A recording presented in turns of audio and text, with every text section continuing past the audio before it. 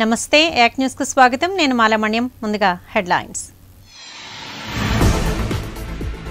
మత్స్యకారులకు త్వరలోనే తీపి కబురు. రెండు వర్గాలకు న్యాయం చేస్తామంటున్న ఎమ్మెల్యే వాసుపల్లి.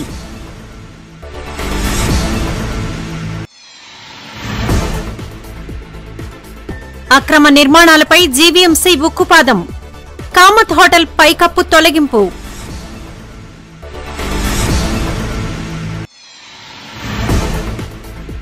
ఈఆర్సీలో కొనసాగుతున్న ప్రజాభిప్రాయ సేకరణ. జడ్జిల ముందు వినతుల వెల్లువ.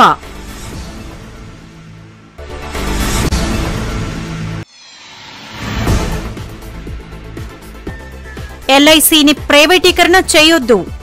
Employees union demand.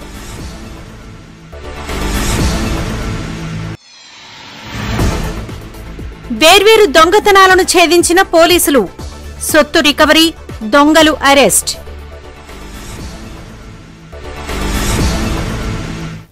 ఇక వార్తల వివరాలు చూద్దాం. గత కొంతకాలంగా వేటలేక ఇబ్బందులు పడుతున్న సాంప్రదాయ మత్స్యకారులు సమస్యకు నేటితో తెరపడింది. దక్షిణ నియోజకవర్గం ఎమ్మెల్యే వాసుపల్లి గణేష్ కుమార్ చొరవతో సమస్య పరిష్కారమైంది. సర్క్యూట్ హౌస్లో మంత్రి ముత్తంశెట్టి శ్రీనివాసరావు జిల్లా collector Vinay Chand fisheries joint director ఫణిప్రకాష్తో కలిసి సమావేశమై మత్స్యకారుల సమస్యపై చర్చించారు. ఈ సందర్భంగా ఆయన మాట్లాడుతూ సాంప్రదాయ మత్స్యకారుల వేటకు వెళ్ళేందుకు ఈ నెల ఇరవై మూడున తీపి కబురు చెబుతానన్నారు. అదేవిధంగా ప్రేమోన్మాది చేతిలో దాడికి గురైన ప్రియాంకకు ప్రభుత్వం తరపున పూర్తి సహాయ సహకారాలు అందిస్తామని తెలిపారు. ప్రియాంక అని చెప్పేసి అమ్మాయికి వోకల్ కార్డ్ టిష్యూస్ కట్ చేసేసారు కదా అది దొండగలు. ఆపరేషన్ చేయాలి మళ్ళీ తనకి వాయిస్ కార్డ్స్ ఓపెన్ అవ్వాలని చెప్పి అంటే అది హైదరాబాద్లో ట్రీట్మెంట్ జరగాలి. హైదరాబాద్లో ట్రీట్మెంట్ జరగాలంటే ప్యానల్ ఆఫ్ హాస్పిటల్స్ ఏదైతే ఆరోగ్యశ్రీలు ఉన్నాయో అది ఈ పర్టికులర్ వోకల్ కార్డ్ టిష్యూస్కి లేదన్నమాట. దానికోసం కలెక్టర్ గారు పర్మిషన్ తీసుకొని స్పెషల్గా తనకి ఆ ట్రీట్మెంట్ కోసం అని చెప్పేసి వెహికల్ ఇచ్చి పంపించి ఆ అమ్మాయిని మళ్ళీ ఒక సాధారణమైన అమ్మాయిగా తయారు చేయాలనేది ఒకటి ఫస్ట్ థింగ్ అన్నమాట. ఇది పేదల ప్రభుత్వం ప్రాణం విలువ తెలిసిన ప్రభుత్వం. జగన్మోహన్ రెడ్డి గారి నమ్మకంతో ఏ కుటుంబానికైనా సరే నేను అదే హామీ ఇస్తామన్నాను. ఏ సమస్యనే అది మాది. పరిష్కారం మాది. మీకు సమస్యలు లేని ఈ రాష్ట్రం మీకు మీది మీది అని చెప్పేసి అనిపించుకునేలాగా మేము పనిచేస్తామని చెప్పేసి తెలియజేయడం కోసం అని చెప్పేసి మా ప్రయత్నం కూడా అనేది. అది రెండవ ఇష్యూ ఏంటంటే కలెక్టర్ గారితో ఒక బర్నింగ్ ఇష్యూ మత్స్యకారులేమో వేట నిషేధించారు. వన్ ఫార్టీ ఫైవ్ సెక్షన్ పెట్టి. So law and order doesn't mean at the cost of the stomach వేటకి వెళ్తే కానీ ఆ పూట గడవదు. అలాంటిది కొన్ని రోజులుగా చిన్న ఇష్యూని బేస్ చేసుకొని తగులు అవుతాయేమో అన్న ఒక ఫోర్సీనెస్ తోటి వేట నిషేధం చేస్తే వాళ్ళ బ్రతుకులు ఏమవుతాయి? పండగ రోజులన్నీ కూడా వేట నిషేధం అయిపోయింది. లాండ్ ఆర్డర్ ఉంటే ఎవరిని బైండ్ అవుట్ చేయాలి? ఎవరిని బైండ్ అవుట్ చేసుకొని వాళ్ళు వన్ ఫార్టీ ఫైవ్ సెక్షన్లోనేమో ఏ ఏరియాస్ని ఎలొకేట్ చేసుకొని అంతేగాని సముద్రం అంతా మనం ఏమో వేట నిషేధం చేస్తాం ప్రభుత్వం చెడు వస్తుంది.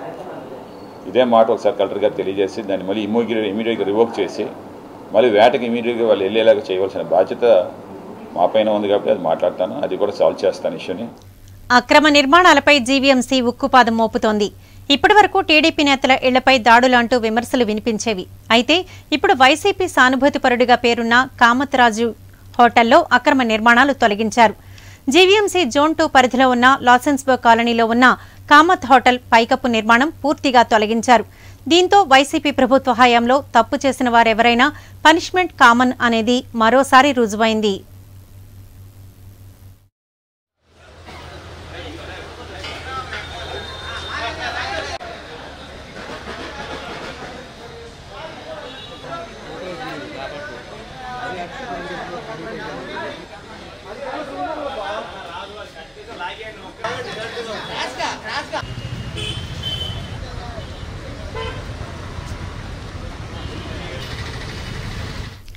ఏపీఈఆర్సీ ఆధ్వర్యంలో రెండు వేల ఇరవై ఒకటి ఇరవై రెండు ఆర్థిక సంవత్సరానికి గాను వార్షిక ఆదాయ అవసరాలు రిటైల్ ధరలపై మూడు రోజుల పాటు జరిగే రాష్ట్ర విద్యుత్ వినియోగదారుల బహిరంగ ప్రజాభిప్రాయ సేకరణ రెండవ రోజు కొనసాగింది. ఇరవై రెండు మంది తమ అభిప్రాయాలను మండలి ముందు ఉంచారు. ERC chairman justice CV Nagarjunareddy సభ్యులు ఠాకూర్ రామ్ సింగ్లు విశాఖ ఈపీడీసీఎల్ ప్రధాన కార్యాలయం నుండి ఆయా డిస్కంలకు సంబంధించిన సూచనలు అభ్యంతరాలు అభిప్రాయాలను వర్చువల్ పద్ధతిలో స్వీకరించారు. కరోనా నేపథ్యంలో ఏపీ విద్యుత్ నియంత్రణ మండలి వర్చువల్ పద్ధతిలో నిర్వహిస్తున్న ప్రజాభిప్రాయ సేకరణ రెండో రోజు కొనసాగింది. తొలి రోజు ఇరవై నాలుగు ఫిర్యాదులు రాగా రెండవ రోజు ఇరవై రెండు మంది తమ సూచనలు అభ్యంతరాలు అభిప్రాయాల్ని మండలి ముందుంచారు. అభిప్రాయ సేకరణ అనంతరం ఆ వివరాల్ని APERC chairman justice CV Nagarjuna Reddy మీడియాకు వెల్లడించారు. వినియోగదారుల ప్రయోజనాల్ని కాపాడుతూ విద్యుత్ సంస్థల ఆర్థిక శ్రేయస్సును దృష్టిలో ఉంచుకుని ఎవరికీ నష్టం కలగని రీతిలో ఈఆర్సీ నిర్ణయాలు తీసుకుంటుందని తెలిపారు. ప్రస్తుత ఆర్థిక సంవత్సరానికి గాను విద్యుత్ సేకరణ ప్రణాళికలో పీపీఏలు లేని విద్యుత్ ప్లాంట్లను చేర్చలేదని చెప్పారు. అలాంటి విద్యుత్ ప్లాంట్ల నుంచి విద్యుత్ కొనుగోళ్ళను ప్రత్యేక ఆదేశాల ద్వారా కమిషన్ అనుమతించడం వల్ల డిస్కంలకు దాదాపు రెండు వందల కోట్ల రూపాయల ఆదాయిందన్నారు వినియోగదారుల దీర్ఘకాలిక ప్రయోజనాన్ని దృష్టిలో ఉంచుకుని శ్రీ దామోదరం సంజీవయ్య థర్మల్ విద్యుత్ కేంద్రం Talari Cheruvu solar plant Rayalaseema thermal power plant విద్యుత్ రేట్లను నిర్ధారించినట్లు తెలిపారు. ఈఆర్సీ ఒకసారి టారిఫ్ ఆర్డర్ ఇచ్చాక దాన్ని రివీల్ చేసే వీలు ఉండదని స్పష్టం చేశారు. ఈ టారిఫ్ ప్రతిపాదనలు వాటి మీద నిన్నటి నుండి విచారణ ప్రారంభించడం జరిగింది. బహిరంగ విచారణ. బహుశా దేశంలోనే మొట్టమొదటిసారిగా ఈ వీడియో కాన్ఫరెన్స్ ద్వారా ఎందుకంటే మీకు అందరికీ తెలుసు ఈ కోవిడ్ వల్ల మనం ఫిజికల్గా ఈ విచారణ చేపడితే దానివల్ల ప్రజా ఆరోగ్యానికి ప్రమాదం ఏర్పడుతుందనే ఉద్దేశంతో ఈ బహిరంగ విచారణ వీడియో కాన్ఫరెన్స్ ద్వారా చేపట్టడం జరిగింది. మన కమిషన్ మొట్టమొదటి కమిషన్ ఈ రకమైన విచారణ చేపట్టడం అని నేను భావిస్తున్నా. ఈ బహిరంగ విచారణలో నిన్న ఇరవై నాలుగు మంది అభ్యంతరదారులు మాట్లాడడం జరిగింది. ఈరోజు ఇరవై రెండు మంది మాట్లాడడం జరిగింది.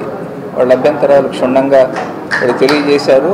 వాటిని మేము పరిగణలోకి తీసుకొని ఆ అభ్యంతరాల మీద రేపు మూడు డిస్కామ్స్ సిఎండిస్ వారి వారి వివరణ వాళ్ళు ఇస్తారు. ఇచ్చిన తర్వాత మేము వీటిని పరిశీలించి ఒక టారిఫ్ ఆర్డర్ విడుదల చేయడం జరుగుతుంది. వినియోగదారుల విస్తృత ప్రయోజనాలు కాపాడుకుంటూ ఈ పంపిణీ సంస్థల ఆర్థిక స్థితిగతులు స్థితిగతులు మెరుగుపరిచేలా కొన్ని విద్యుత్ సంస్థలతో పీపీఏలు లేని సంస్థలు పవర్ ప్లాంట్స్ వాటిని వాటి దగ్గర నుండి విద్యుత్ కొనుగోలు చేయమని చెప్పి ప్రతిపాదించితే వాటిని తిరస్కరి తిరస్కరించి వాటి వద్ద నుండి సరసమైన ధరలకు short term short term purchases అనుమతించిన దానివల్ల ఈ విద్యుత్ సంస్థలకు దాదాపు రెండు వందల కోట్లు ఆదా అయింది వినియోగదారుల దీర్ఘకాలిక ప్రయోజనాలు దృష్టిలో ఉంచుకొని మూడు విద్యుత్ ప్లాంట్లకు సంబంధించి tariff నిర్ధారించడమైనది. Insurance nationalisation day celebrations LIC building వద్ద ఎంప్లాయీస్ యూనియన్ ఆధ్వర్యంలో ఘనంగా నిర్వహించారు. ఉద్యోగులు క్యాండిల్స్ వెలిగించి ప్రదర్శన చేశారు. ఈ సందర్భంగా LIC employees union general secretary Ramanachalam మాట్లాడుతూ కార్మికుల చట్టాలను హక్కులను కాలరాస్తున్నారని ఆవేదన వ్యక్తం చేశారు. లాభాల బాటలో నడుస్తున్న ఎల్ఐసిని ప్రైవేటీకరణ చేసే ఆలోచన మానుకోవాలని ప్రభుత్వాన్ని డిమాండ్ చేశారు. బీమా వ్యవస్థను జవహర్లాల్ నెహ్రూ ప్రధానిగా పంతొమ్మిది వందల యాభై ఆరు జనవరి పంతొమ్మిదవ తేదీన జాతీయం చేశారు. అప్పటి నుంచి ఈ రోజును ఇన్సూరెన్స్ నేషనలైజేషన్ డేగా సెలబ్రేట్ చేసుకుంటున్నారు. అయితే దేశవ్యాప్తంగా అరవై వేల మంది ఉద్యోగులు నలభై కోట్ల మంది పాలసీ హోల్డర్లు ఉంటూ ముప్పై రెండు లక్షల కోట్లు ఆస్తులు ఉన్న ఎల్ఐసి వ్యవస్థను కేంద్ర ప్రభుత్వం ప్రైవేట్ పరం చేయబోతోందని ఉద్యోగులు ఆవేదన వ్యక్తం చేస్తున్నారు.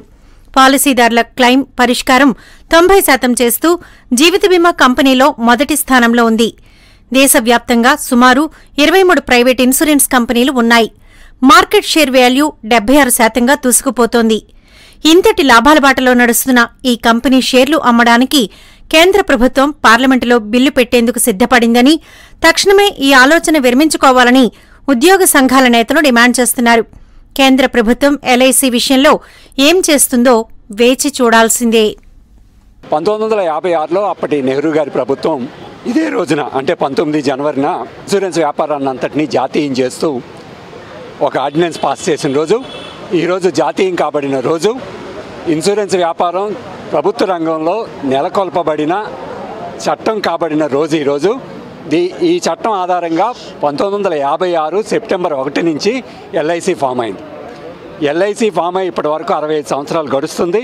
ఈ అరవై ఐదు సంవత్సరాల్లో life insurance corporation of India ప్రభుత్వ రంగంలో నలభై కోట్ల మంది పట్టాదారులకు సేవ చేస్తూ ముప్పై రెండు లక్షల కోట్ల రూపాయల ఆస్తుల్ని గ- గడించి దేశ ఆర్థిక వ్యవస్థ నిర్మాణానికి రాష్ట్రానికి సంబంధించిన సహకార వ్యవస్థ నిర్మాణానికి అనేక లక్షల కోట్ల రూపాయల ఆర్థిక సాయం అందించింది.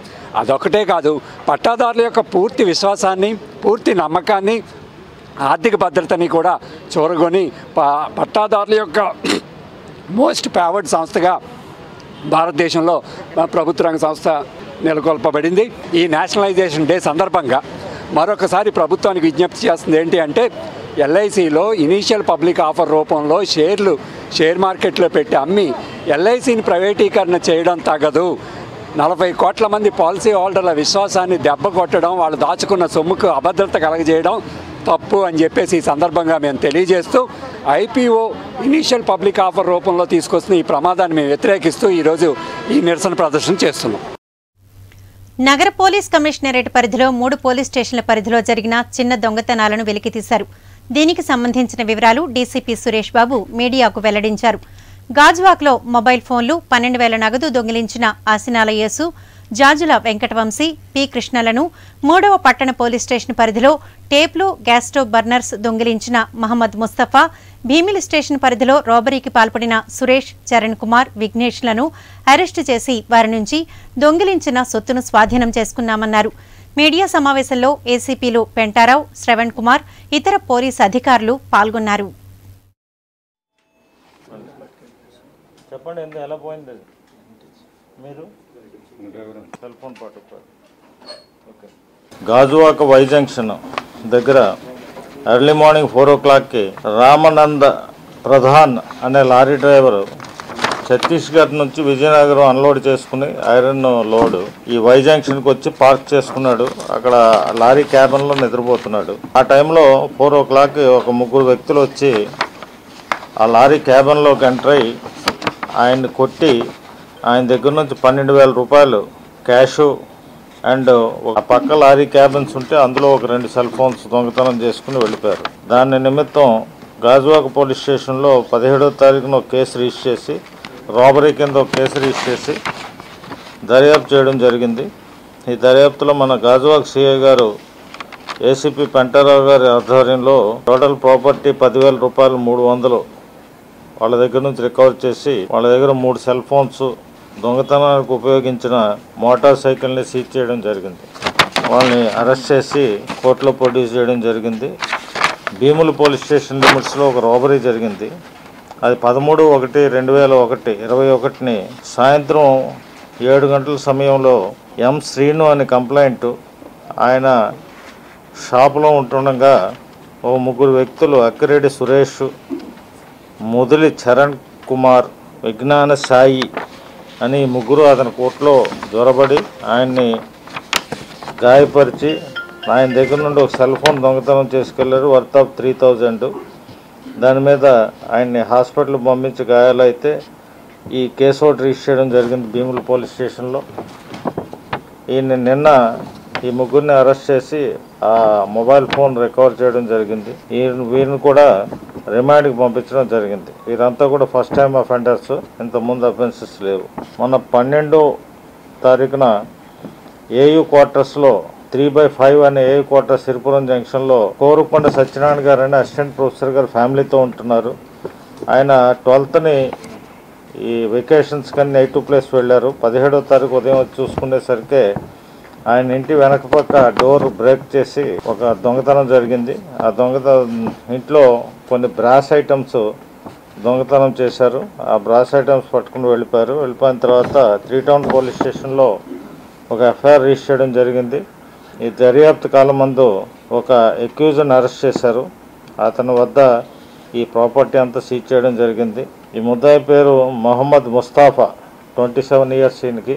గతంలో నాలుగు నైట్ హెచ్బి అఫెన్సెస్ చేస్తున్నారు. రిమాండ్ కూడా చేసి ఇతని కన్విక్షన్ కూడా అయింది. ఆయన మొన్నే ఈ మధ్య కాలంలో వారం రోజుల క్రితం జైలు నుంచి వచ్చారు. మళ్ళీ ఇక్కడ ప్రొఫెసర్ గారు ఇంట్లో నేరం చేశారు. ఇమ్మీడియట్గా అతను అరెస్ట్ చేసి రిమాండ్కి పంపించడం జరిగింది. ఆధునిక హంగులను సమకూర్చుకుంటున్న విశాఖ రైల్వే స్టేషన్లో భద్రతను మరింత పటిష్టం చేసే దిశగా అడుగులు పడుతున్నాయి. ప్రతి ప్లాట్ఫామ్ని అత్యాధునిక డ్రోన్ ద్వారా పర్యవేక్షించే బృహత్తర నిఘా వ్యవస్థను ఆర్పీఎఫ్ ప్రారంభించింది. స్టేషన్ పరిధిలో ఆస్తుల సంరక్షణతో పాటు దొంగతనాలు అసాంఘిక కార్యకలాపాలకు సమూలంగా చెక్ చెప్పేందుకు ఈ సాంకేతికతను వినియోగిస్తోంది. Visakha railway station. ఇదో అందమైన స్టేషన్. స్వచ్ఛ భారత్ మిషన్లో భాగంగా చేపట్టిన స్వచ్ఛతేహి కార్యక్రమాల్లో జాతీయ స్థాయి అవార్డులెన్నింటినో తన ఖాతాలో జమ చేసుకుంది. ఇంతటి ఖ్యాతినార్జించిన ఈ స్టేషన్ నిత్యం లక్షలాది మంది ప్రయాణికులు వందల రైళ్ళ రాకపోకలతో కిటకిటలాడుతుంటుంది. ఎక్కడ ఏ చిన్న అవాంఛనీయ ఘటన చోటు చేసుకోకుండా నిత్యం రైల్వే భద్రతా దళం పహారా కాస్తూ ఉంటుంది. వంద మంది సిబ్బంది మూడు షిఫ్టుల్లో విధులు నిర్వర్తిస్తుంటారు. అయినప్పటికీ స్టేషన్ పరిధిలో విస్తరిస్తున్న కార్యకలాపాలు పెరుగుతున్న ప్రయాణికుల దృష్ట్యా భద్రతా విషయమై ఆర్పీఎఫ్ అధికారులు పక్కా వ్యూహంతో ముందుకు సాగుతున్నారు. ఆధునిక సాంకేతికతను అందిపుచ్చుకుంటూ భద్రతా వ్యవస్థను పటిష్టం చేశారు. అందులో భాగంగా స్టేషన్లోని ఎనిమిది ప్లాట్ఫామ్లపై నిఘా వ్యవస్థను పెంచేలా డ్రోన్తో పర్యవేక్షించే కార్యక్రమానికి లాంఛనంగా ప్రారంభించారు. ఈ డ్రోన్ని ఒకటో నెంబర్ ప్లాట్ఫామ్పై ఉన్న ఆర్పీఎఫ్ కంట్రోల్ రూమ్కి అనుసంధానించారు. స్టేషన్ పై నుంచి డ్రోన్ పహారాతో పాటు ప్లాట్ఫామ్పై ఉండే ప్రయాణికుల వస్తువులు బ్యాగ్లు చెక్ చేయడం సంబంధిత లగేజీ ఎవరిదన్న వివరాలు రికార్డు చేసేందుకు దేశంలోనే తొలిసారిగా విశాఖ రైల్వే స్టేషన్ పరిధిలో గోప్రో కెమెరాలను స్నిపర్ డాక్స్కి వినియోగించనున్నారు. ప్రస్తుతం ఆర్పీఎఫ్ పరిధిలో ఆరు స్నిపర్ డాగ్స్ ఉన్నాయి. వీటన్నింటికి ఒక్కో గోప్రో వీటన్నింటికి ఒక్కో గోప్రో కెమెరా అమర్చారు. అలాగే విశాఖ నుంచి బయలుదేరే వివిధ రైళ్ళలోని ప్రయాణికులకు భద్రత కల్పించే విధులు నిర్వర్తిస్తున్న సిబ్బందికి బాడీ వార్న్ కెమెరాలు ఏర్పాటు చేశారు. సిబ్బంది శరీరంపై ఒదిగిపోయేలా ఉండే ఈ కెమెరాలతో ఆయా బోగీల్లో కూర్చున్న ప్రయాణికులెవరు వారు దిగిన తర్వాత ఆ స్థానంలో ఎవరు కూర్చున్నారు ప్రయాణికుల్లో అనుమానితులు ఎవరైనా ఉన్నారా వంటివి రికార్డు చేస్తున్నారు. ఈ తరహా ఎస్కార్ట్ బృందాలు ముప్పై వరకు ఉన్నాయి. వీరిలో పన్నెండు నుంచి పదిహేను మందికి బాడీ ఓర్న్ కెమెరాలు తొలి విడతగా ఏర్పాటు చేశారు. వీటన్నింటినీ సీసీ కెమెరా కంట్రోల్ వ్యవస్థకు అనుసంధానించి పర్యవేక్షించనున్నారు. ప్రయాణికుల భద్రతకు ప్రథమ ప్రాధాన్యమిస్తూ సాంకేతిక రక్షణ వ్యవస్థని అందుబాటులోకి తీసుకువస్తున్నట్లు ఆర్పీఎఫ్ అధికారులు చెబుతున్నారు. దక్షిణ నియోజకవర్గం ఎమ్మెల్యే వాసుపల్లి గణేష్ కుమార్ ముప్పై ఐదు వార్డు పూర్ణ మార్కెట్ చందు ఏరియాలో పర్యటించారు. కాలువలో డ్రైనేజ్ నీరు నిలుపుదల వల్ల అక్కడి ప్రజలు పడుతున్న ఇబ్బందులు అడిగి తెలుసుకున్నారు. తక్షణమే జీవీఎంసీ అధికారులు ఏఈ ఉషారాణి శానిటరీ ఇన్స్పెక్టర్లతో మాట్లాడి తగు చర్యలు చేపట్టాలని ఆదేశించారు. వీధుల్లో ఎల్ఈడీ బల్బులను ఏర్పాటు చేయాలని అధికారులకు సూచించారు. ఫుట్పాత్లు ఆక్రమించి వ్యాపారాలు చేస్తున్న వారి నుంచి ప్రజలకు ఇబ్బందులు కలగకుండా చూడాలని పోలీసులను ఆదేశించారు. ఈ సందర్భంగా ఆయన మాట్లాడుతూ స్థానిక సమస్యల పరిష్కారానికి కృషి చేస్తానన్నారు. ఈ కార్యక్రమంలో కొప్పుల వెంకట్రావు పీతలవాసు జెర్రిపోతుల ప్రసాద్ ఆది విష్ణు యాసిన్ కృష్ణారెడ్డి తదితరులు పాల్గొన్నారు. ప్లేసెస్ ఉంటాయో అలాంటి దగ్గర ఇన్ఫ్రా డెవలప్ చేయవలసిన బాధ్యత అనమాట ఇది ఇలాంటి ఏరియాస్ ఇవన్నీ కూడా four feet five feet roads ఉంటాయి. దాని తర్వాత ఏమో డ్వెల్లర్స్ ఎక్కువ ఉంటారు. డెన్సిటీ ఆఫ్ పాపులేషన్ ఎక్కువ ఉంటుంది. అట్ ద సేమ్ టైం ఏమో ఏరియాస్లోని అక్కడేమో స్లమ్స్ ఎక్కువ ఉంటారు. ఇవన్నీ ఈ ఉండే ఏరియాలోనేమో ముఖ్యంగా ఇన్ఫ్రాస్ట్రక్చర్ని కల్పించవలసిన బాధ్యత చాలా స్పీడీగా ఉండాలన్నమాట. ఈరోజు పని చేస్తే రెండు రోజుల్లో అయిపోయినట్లా ఉండాలన్నమాట. ఎందుకంటే ఈరోజు చేస్తే రెండు సంవత్సరాల తర్వాత అయిన తర్వాత అంటే justice denied is justice delayed is justice denied అంటారు. అలాగే ఇది కూడా ఎంత మనం మంచి పని చేసినా సరే ప్రజల్లో ఆగ్రహం యాంటీ ఎన్కంపరెన్సీ ఓట్ మూడగొట్టుకోవడమే తప్పించి వాళ్ళ మంచి పేరు మనం తెచ్చుకోవడం కష్టం అన్నమాట. ఇవి డిపార్ట్మెంట్స్ వల్ల ప్రభుత్వం మీద మచ్చపడితే ఇది మనం సహించలేని విషయం అన్నమాట. ఇది కూడా అందుకనే ఈ ఇష్యూ కూడా టేకప్ చేస్తాము. చాలా సమస్యలు ఆ మాదిరిగా డిపార్ట్మెంట్ సమస్యలు ఉన్నాయి. మొన్న చూస్తే యూజీడీ ప్రాబ్లమ్స్ ఇది ఈ నాలుగు మూడు నాలుగు రోజులేమో పని వాళ్ళు సరిగ్గా వాళ్ళకి అందుబాటులో రాకపోవడం వల్ల ఏంటంటే యూజీడీ అంతా పొ పొంగుతావు అనమాట అసలు ముగ్గులు వేసుకునే ప్రాంతంలోనేమో యూజీడీ పొంగుతూ ఉంటుంటే ఏ కుటుంబం ఎవరు పిల్లని పిల్లకి ఆల్రెడీ ఇస్తారు చెప్పండి? ఉత్తర నియోజకవర్గం నలభై తొమ్మిది వార్డు చాకలిగడ్డ మాణిక్యమ్మ కాలనీలో వైసీపీ సమన్వయకర్త కేకే రాజు జోనల్ కమిషనర్ సింహాచలంతో కలిసి సందర్శించారు. స్థానికుల సమస్యలు అడిగి తెలుసుకున్నారు.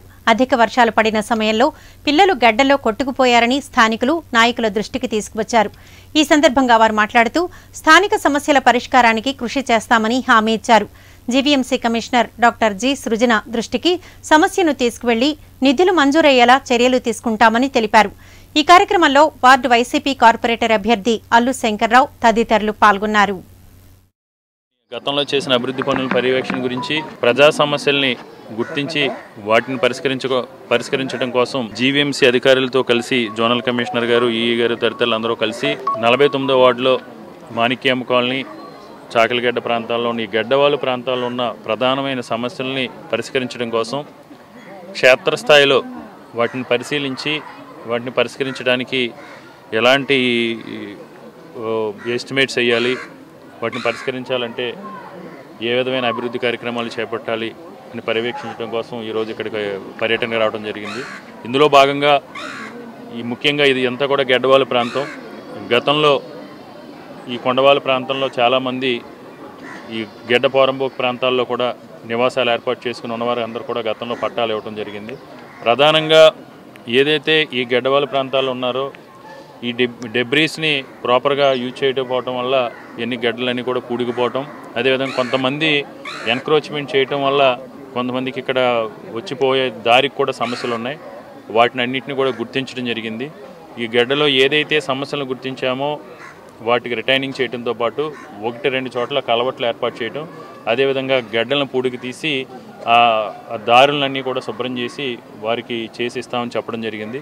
అంతేకాకుండా చాకలిగడ్డ ప్రాంతంలో నిరుపయోగంగా ఉన్న టాయిలెట్స్ని కానీ దోబీఘాట్లను కానీ వాటిని అవసరం లే అవసరం లేకపోతే వాటిని తొలగించి వాటి స్థానంలో వీరికి ఒక పార్కు కమ్యూనిటీ వాళ్ళు కూడా అవసరం ఉంది. ఈ ప్రాంతంలో ఈ ఈ కాలనీలో ఉన్న చాకలగడ్డ ప్రాంతంలో ఉన్న వారందరికీ కూడా చిన్న చిన్న ఫంక్షన్ చేసుకోవడానికి కానీ పెళ్ళిళ్ళు చేసుకోవడానికి కానీ ఉపయోగపడే విధంగా ఒక పార్క్ని అభివృద్ధి చేసి ఒక కమ్యూనిటీ హాల్ని కూడా అభివృద్ధి చేసి వారికి ఇవ్వడానికి అధికారులతో మాట్లాడి వాటిని నిర్మించే విధంగా చర్యలు తీసుకోవడం జరుగుతుంది. ప్రతిరోజు మేము ఒక్కొక్క వార్డు విజిట్ చేయడం జరుగుతుంది. అందులో భాగంగా ఈరోజు ఫార్టీ నైన్ వార్డులో మరి ఇక్కడ ఏదైనా మనకి ఇష్యూస్ ఎక్కడ ఉన్నాయో దాని వాటి మీద మనం విజిట్ చేస్తూ ఇక్కడ గౌరవనీయులు నార్త్ నియోజకవర్గ ఇన్ఛార్జ్ అయినటువంటి డాక్టర్ కేకే రాజు రాజు గారు కూడా ఇందులో ఈ విజిట్లో వాళ్ళు రావటం ఆయనతో పాటు మేము కొన్ని ఏరియాలను ఇక్కడ చాకలగడ్డ కానీ మాణిక్యాంబ కాలనీ కానీ రెండు చూడడం జరిగింది. ఇదంతా కూడా స్లమ్ ఇది. ఈ పెద్ద స్లమ్ కూడా మేజర్ గడ్డ కానుకొని రెండు వైపులా ఉంది. ఇక్కడ అనేక సమస్యలను గుర్తించడం జరిగింది. ఇవన్నీ కూడా ఇది మా కమిషనర్ దృష్టిలో పెట్టి వీటిని ఎక్కడెక్కడ ఏం చేయాలో దాని మీద ప్రతిపాదనలు సంబంధిత ఇంజనీరింగ్ అధికారులు కూడా మా ఏఈ గారు అలాగే ఏఈ అందరూ ఉన్నారు. టౌన్ ప్లానింగ్ వాళ్ళతో అది ఒకసారి మేము సర్వే చేసిన తర్వాత ఎక్కడ ఏది చేస్తే బాగుంటుంది ఫీజిబిలిటీ ఉందండి అది డిసైడ్ చేసిన తర్వాత కమిషనర్ గారి దృష్టిలో పెట్టి అది అప్రూవల్ తీసుకొని దాని మీద చర్యలు తీసుకోవడం జరుగుతుందని గాజువాక ప్రియదర్శిని కాలనీ ఇండోర్ స్టేడియంలో వైసీపీ అరవై నాలుగు వార్డు కార్పొరేటర్ అభ్యర్థి ధర్మాల శ్రీనివాసరావు ఆధ్వర్యంలో సచివాలయ సిబ్బందికి ఏకరూప దుస్తులు పంపిణీ కార్యక్రమం నిర్వహించారు. ఈ సందర్భంగా ఆయన మాట్లాడుతూ మహాత్మా గాంధీ కలలుగన్న గ్రామ స్వరాజ్య వ్యవస్థను నెలకొల్పిన ఘనత ముఖ్యమంత్రి జగన్మోహన్ రెడ్డిదే అన్నారు. సచివాలయ సిబ్బంది ప్రజలలో మమేకమై ప్రజలతో సఖ్యతగా మసలుతూ వారికి కావలసిన సేవలు అందిస్తున్న వారికి ఏకరూప దుస్తులు ప్రగతి భారత్ ఫౌండేషన్ అధినేత రాజ్యసభ సభ్యులు విజయసాయిరెడ్డి సహకారంతో అందించడం జరుగుతోందన్నారు. ఈ కార్యక్రమంలో CO Sunil Gangavaram admin CH Kiran Venkanapalem admin Gauri Dibbapalem admin Bhavani మరియు వాలంటీర్లు సిబ్బంది పాల్గొన్నారు. అంటే మన వచ్చేటప్పటికి మన వాలంటీర్లకి సచివాలయ సిబ్బందికి నేను ఏదో చేస్తానని లేదంటే గారిలాగా పంపిస్తున్నారు. తర్వాత విరమించడం జరిగింది. మీకోసం ఎంత చెప్పినా తక్కువే ఎందుకంటే భారతదేశంలో నాలుగైదు దఫాలు చేసిన ముఖ్యమంత్రులు ఉన్నప్పటికీ కూడా అనతి కాలంలో అతి చిన్న వయసులో పద్దెనిమిది కాల వ్యవధిలోనే భారతదేశంలోని మన రాష్ట్ర ముఖ్యమంత్రి వారి జగన్మోహన్ రెడ్డి చేస్తున్న సంక్షేమ పథకాలు మీ ద్వారా ప్రజలకి త్వరితగతిన అందే విధంగా మీరు చేస్తున్న సేవని కొనియాడి భారతదేశంలో మూడో స్థానంలో ఉన్నదంటే దానికి జగన్మోహన్ రెడ్డి గారితో పాటు మీకు కూడా ఆ గౌరవం దొరుకుతుంది అలాంటి పార్టీలు ఉన్నందుకు అలాంటి నాయకత్వం కలిగిన నాయకుల పాటలు ఉన్నందుకు దేవుడు సకాలంగా తలెత్తుకొని చెప్తున్నాం. ఎందుకంటే ప్రజల్లోకి వెళ్ళేటప్పుడు ఎలక్షన్లో మీరు వాగ్దానాలు ఇచ్చారండి. ఏం చేశారనే రోజులు మాకు తెలుసు. ఇప్పుడు గర్వంగా ఎవరు పిలిచినా వెళ్ళగలుగుతున్నాం అంటే మీ ద్వారా జగన్మోహన్ రెడ్డి గారు చేస్తున్న సేవలు ప్రజలకు అందుతున్నాయి. దాన్ని ఎవరు తప్పుపట్టే ప్రసక్తి లేదు. ఎందుకంటే కేంద్రం తెచ్చిన నూతన వ్యవసాయ చట్టాలను వ్యతిరేకిస్తూ మహిళలు పెద్ద ఎత్తున ఆందోళనకు దిగారు.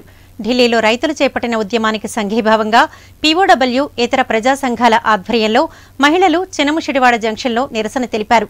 కేంద్రం తీరుకు వ్యతిరేకంగా నినాదాలు చేశారు. ఈ సందర్భంగా పీఓడబ్ల్యూ ప్రతినిధులు లక్ష్మి ఇందిరా మాట్లాడుతూ నూతన వ్యవసాయ చట్టాలతో రైతులు వ్యవసాయ రంగానికే కాకుండా మహిళలు తీవ్రంగా నష్టపోతారని ఆందోళన వ్యక్తం చేశారు. మహిళలకు కూడా నష్టదాయకమని ఆవేదన వ్యక్తం చేశారు.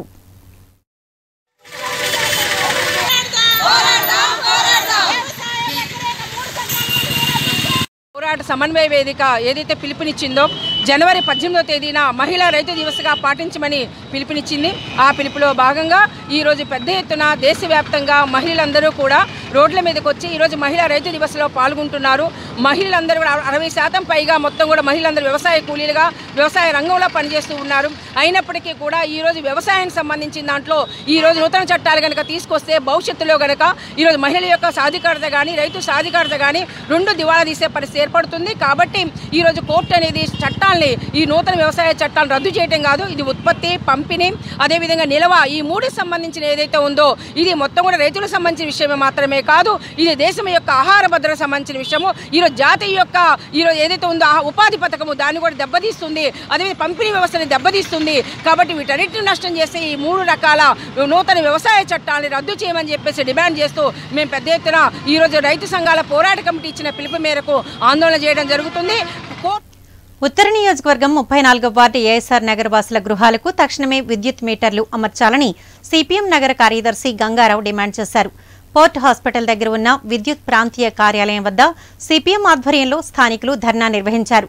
ప్రభుత్వానికి వ్యతిరేకంగా నినాదాలు చేశారు. ఈ సందర్భంగా ఆయన మాట్లాడుతూ గత మూడు సంవత్సరాలుగా ఎస్సీ ఎస్టీ బీసీ వర్గాలకు చెందిన వారంతా విద్యుత్ లేక తీవ్ర ఇబ్బందులు పడుతున్నారన్నారు. తక్షణమే ప్రభుత్వం స్పందించి పేదల గృహాలకు విద్యుత్ మీటర్లు అమర్చేలా చర్యలు తీసుకోవాలని డిమాండ్ చేశారు. ఈ కార్యక్రమంలో zone secretary Raju Gaurishu Lalitha JS Kumar తదితరులు పాల్గొన్నారు. రామరాజు కాలనీలో సుమారు మూడు వందల పైన కుటుంబాలు పేదవాళ్ళ నివాసం ఉంటున్నారు. గతంలో చంద్రబాబు నాయుడు ప్రభుత్వం వారందరికీ కూడా టిట్కో కింద ఇళ్ళు నిర్మించిస్తామని ఆ ఇళ్ళన్నీ కూడా తీసివేశారు. తీసివేసి ఇప్పుడు రెండున్నర సంవత్సరాలు దాటిపోయింది. కొత్త ప్రభుత్వం వచ్చింది. జగన్మోహన్ రెడ్డి గారు అధికారంలోకి వచ్చిన తర్వాత ఆ టిట్కో ఇళ్ళ నిర్మాణాన్ని పూర్తిగా నిలుపుదల చేసేశారు. వాళ్ళందరూ కూడా ఆ పక్కనే కాలువ పక్కనే ఇల్లు నిర్మాణం చేసుకొని రెండున్నర ఏళ్ళ నుంచి జీవనం గడుపుతూ ఉన్నారు. కానీ వాళ్ళకి విద్యుత్ కనెక్షన్స్ లేవు రోడ్లు లేదు అలాగే మంచినీటి సదుపాయం లేదు. రోజు పారిశుధ్యాన్ని శుభ్రం చేసేటటువంటి వాళ్ళు చర్యలు కూడా ఏమాత్రం లేకపోవటం వలన వాళ్ళు తీవ్రమైనటువంటి ఇబ్బందుల్లో జీవనం కొ- కొనసాగిస్తూ ఉన్నారు. వాళ్ళ పిల్లలు విద్యుత్ కనెక్షన్ లేకపోవటం వలన చదువులకు కూడా చాలా ఇబ్బందులకు గురవుతూ ఉన్నారు. రాత్రులు దోమలతోటి చాలా ఇబ్బందులు పడి అనారోగ్య పాలవుతూ ఉన్నారు.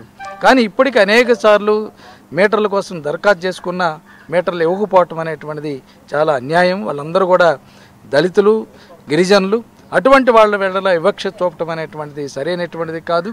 రాష్ట్ర ప్రభుత్వం అధికారంలోకి వచ్చిన తర్వాత టిట్కో ఇళ్ళు నిర్మాణం కాకుండా నిలుపుదల చేశారు. ఇది చాలా దుర్మార్గమైనటువంటి విషయం. మూడు వందల కుటుంబాలు నిరుపేదలు వాళ్ళకి ఇల్లు కట్టిస్తామని ఎన్యూమరేషన్ చేసి ఎలిజిబుల్ లిస్టులు తయారు చేసి వాళ్ళందరికీ కూడా బేస్ మట్టాలు వేసేసి ఇప్పుడు నిలుపుదల చేయటం ఏమిటని అర్థం ఏమిటని మేము అడుగుతూ ఉన్నాం. ఎందుకని నిర్మించాలని మేము అడుగుతూ ఉన్నాం?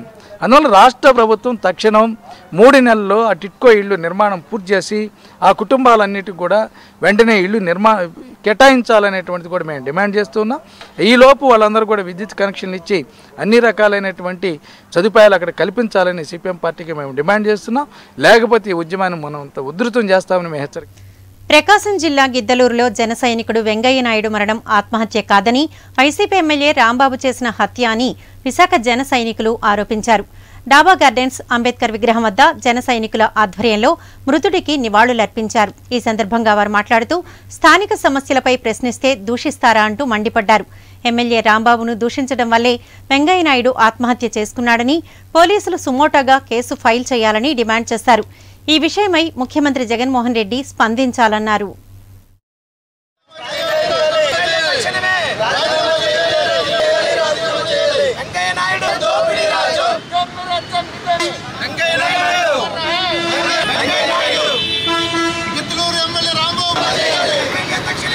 జనసేన పార్టీ జనసైనికుడు రంగయ్య నాయుడు ఆత్మహత్య చేసుకున్నాడని చెప్పేసి ప్రభుత్వం చిత్రీకరిస్తుంది.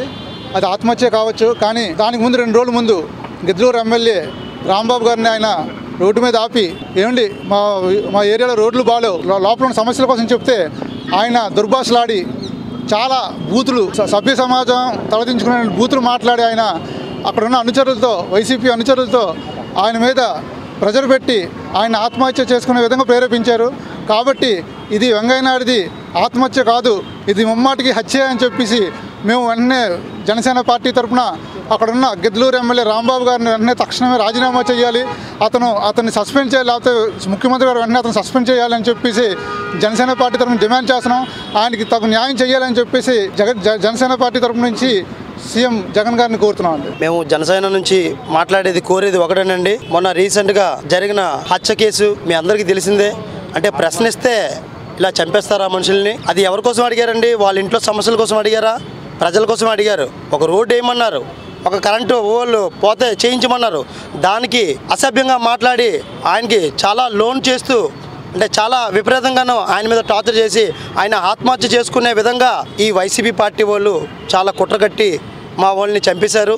కనుక దయచేసి జగన్మోహన్ రెడ్డి గారు ఇది మీరే పరిధిలోకి తీసుకొని మీ వైసీపీ వాళ్ళు తప్పు చేశారని చెప్పేసి ఆయనకి వెంటనే రాజీనామా చేయించాలనేసి మా జనసేన తరపున కోరుతున్నాం.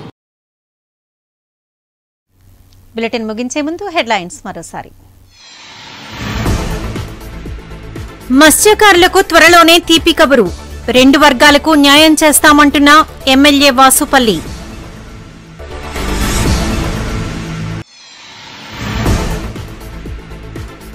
అక్రమ నిర్మాణాలపై జీవీఎంసీ ఉక్కుపాదం. కామత్ హోటల్ పైకప్పు తొలగింపు.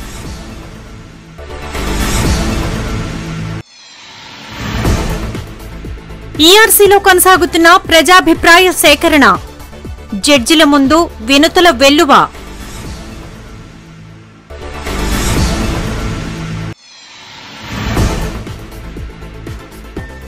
ఎల్ఐసిని ప్రైవేటీకరణ చేయొద్దు. Employees union demand.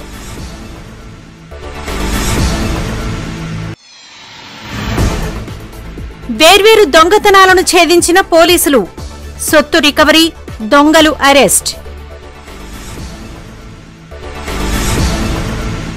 యాక్ న్యూస్ ఇంతటితో సమాప్తం స్టే కనెక్టెడ్